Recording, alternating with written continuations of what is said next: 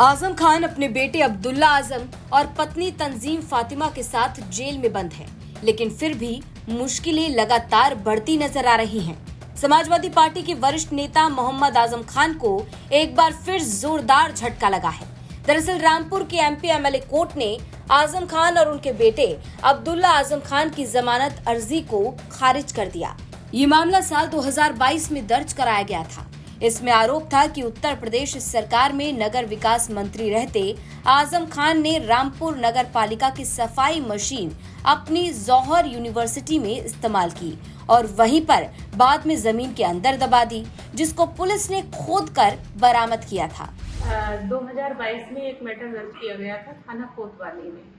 एक जौहर यूनिवर्सिटी में जो नगर पालिका की मशीन थी, वो बरामद हुई थी। उसके संबंध में अब्दुल्ला आज़म खान और आज़म खान दोनों आरोपी थे और इनकी जमानत सेशन कोर्ट में लगाई गई थी जिस पर आज माननीय न्यायालय का फैसला आया है। दोनों की जमानत खारिज कर दी गई क्या ग्राउंड था खारिज करने का जज ने क्या कहा? खारिज करने का जो बेल का था कि मेन जौहर यूनिवर्सिटी से जो मशीन बरामद हुई थी वो जौहर कैंपस से रिकवर की गई है।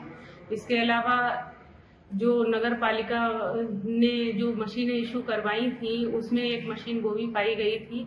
बहुत सारे ये सारे ग्राउंड्स थे जिनको दृष्टिगत रखते हुए माननीय न्यायालय द्वारा जमानत खारिज की गई थी। ये कौन सी कोर्ट का फैसला है? आ, ये ईसी एक्ट एमपी एमएलए जो कोर्ट है हमारी रामपुर की वहाँ डॉक्टर विजय कुमार है। वहाँ का ये मैटर अजय मुकदमा कब दर्ज हुआ था? ये मैटर 2022 में दर्ज हुआ था। तो अभी खारिज हो गई। जी।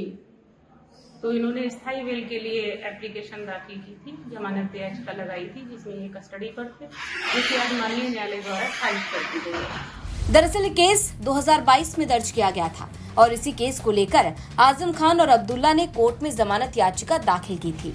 सरकारी वकील सीमा राणा ने बताया कि मशीन को जौहर यूनिवर्सिटी से बरामद किया गया था। वो जौहर कैंपस से रिकवर की गई थी। और भी बहुत सारे ग्राउंड्स को देखते हुए कोर्ट ने दोनों की जमानत अर्जी को खारिज कर दिया है।